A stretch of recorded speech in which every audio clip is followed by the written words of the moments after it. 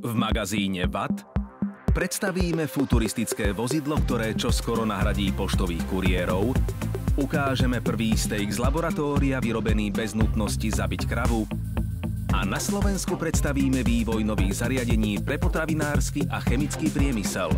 Svet vedy a techniky je VAT v premiére v sobotu predpoludním na dvojke.